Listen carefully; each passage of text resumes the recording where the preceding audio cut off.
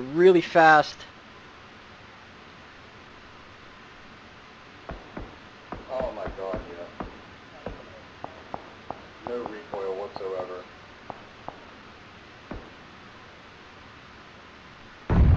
Just a sound, like it sounded like, yeah, like in Counter-Strike when there's no recoil.